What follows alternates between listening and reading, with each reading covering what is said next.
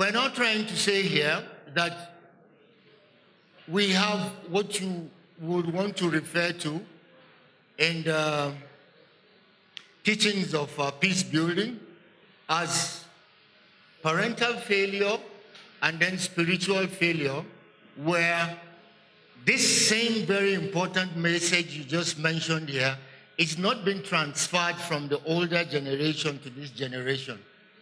People like me have enjoyed both the analog and the digital generation. Uh, we had albums, cartridges, cassettes. Today now, we don't only have CDs, we have flash. Very soon, the music and the rest will just be passing in the air, we'll be catching it. You know, you're reducing and reducing. So that evolution, that is how we're getting disconnected with the reality why the disconnect is making us not being tolerant of each other more every day. When we talk about the uh, parental failure, I give you an example. Now, I have kids in rentier model, you know, in state locus, and then my son came back from the cultural day, and uh, I opened the WhatsApp group and I was showing him their pictures, how they were dancing and everything. Then he said to me, Oh, Daddy, see Emeka, I was telling you, the one wearing cherby, cherby on his neck, but his own has plus. You know, since from that day, I knew I was failing as a parent. I did not tell him how important it is for his father that attended missionary schools and he is at the age of six, does not know the rosary, does not know what a rosary looks like, is a failure on my own part. Most parents have failed. That is why you have this level of intolerance today in the society. Spiritually, most clerics and clergies have failed. They didn't tell you we were all coming from Adam. They lied to you that today, uh, fast and pray. Whatever it is you're looking for, you'll get it. You'll pass your exams. You'll this. They didn't tell you the true history there is what you now have, you know, uh, as quest for supremacy too within this religious history, you know, within the spiritual history, quest for supremacy here in culture. I give you an example. Initially, we used to have, when we were growing up, all we knew were Catholics.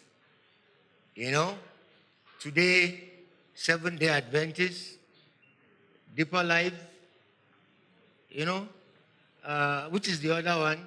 Jehovah Witness. Now, Redeem wants to carry all the members. They will say, Come to my church. They're not calling you to Christ. No, come to my church. Quest for supremacy, quest for numbers. Same thing. We hear of Jibwis as Muslims here. I'm a Muslim. You have Jibwis uh, Izalatul Bidya wa Ikamatu Sunnah. You hear of Shia today and the rest. I'm older than all those organizations.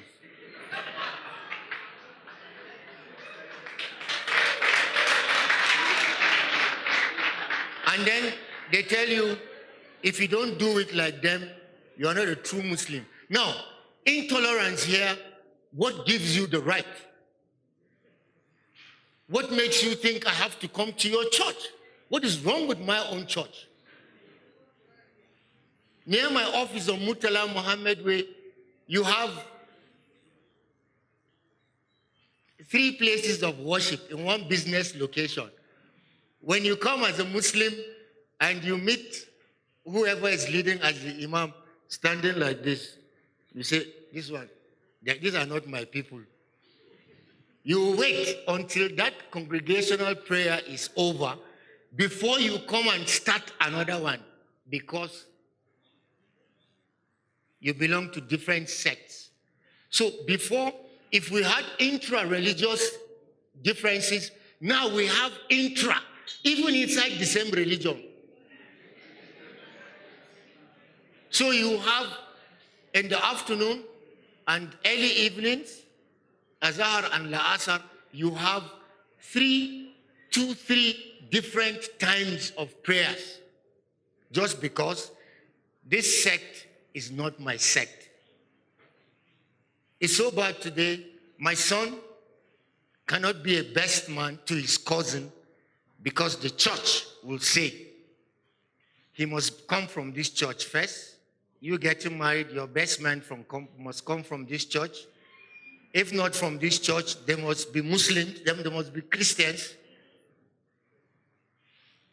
I was best man to more than eight of my friends, and fantastic. One of them is here, same here, Michael Magaji. You know, so we have to be able to contain this quest for supremacy.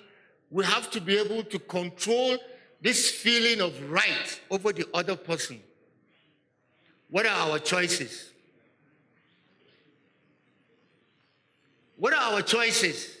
Does anybody, can anybody think of any choice? What are our choices? Let me tell you, you have no choice. Did you hear me? You have no choice. There will never be a time in your life, because we are our own, we don't first chop half more than half. There will never be a time in your life that you will find only Christians or only Muslims in this university. Not possible. There will never be a time that you will wake up and fly the Keke or the bus and find out that there are only Christians or Muslims inside. Impossible. Don't waste your time. There will always, there will always, there will always be Muslims and Christians in Nigeria. So if you if you are thinking, if you are not tolerant of each other, just move to Mars or Venus and go and live.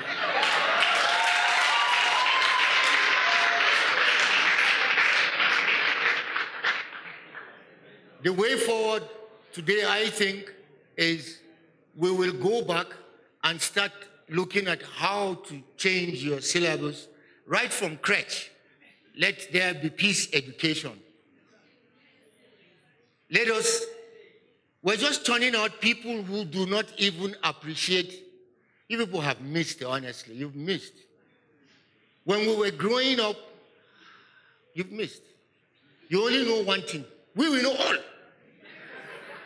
Yeah.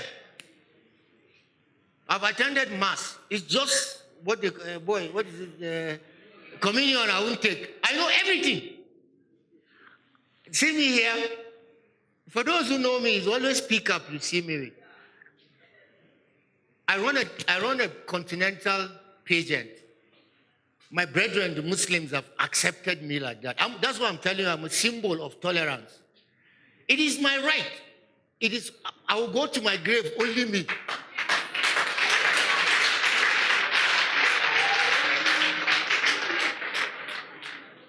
You learn to do things that are right. That is all.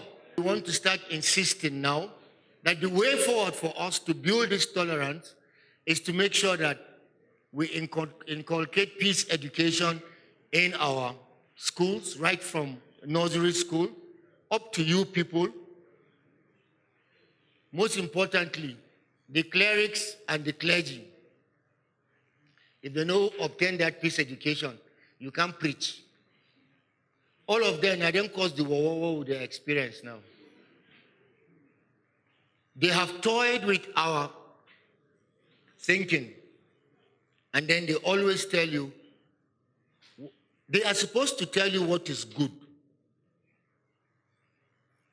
Then you allow the society to tell you what is right and what is wrong.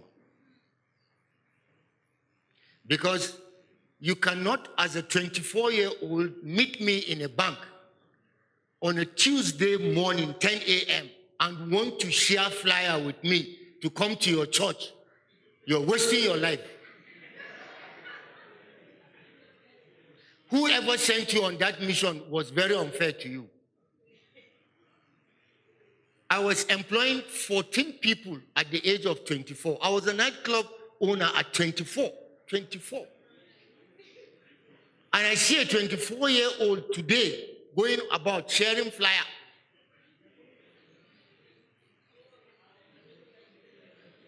We have, wait, I'm coming. Oh, not, let's, it's almost my time. I'll soon leave. Here you heard they said, I am the convener movement for the rights of Almajiri child. When I finish with you sharing the flyer, I'm coming to the Almajiri. Wait. So we're not looking at things. The Almajiri child, okay, let's leave the flyer person. I have very, very strong The Almajiri child is the clear manifestation of breeding somebody who is completely disillusioned, completely intolerant of anything good.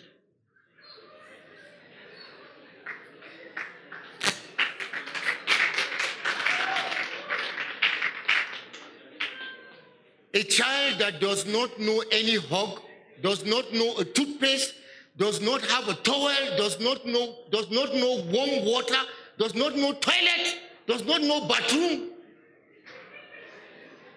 What kind of human being are you breeding?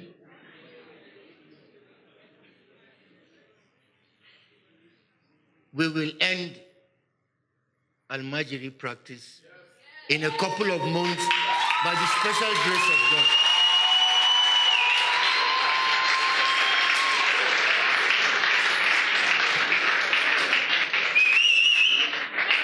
That is the height of intolerance. That is the height of inhumanity to man. God bless you all.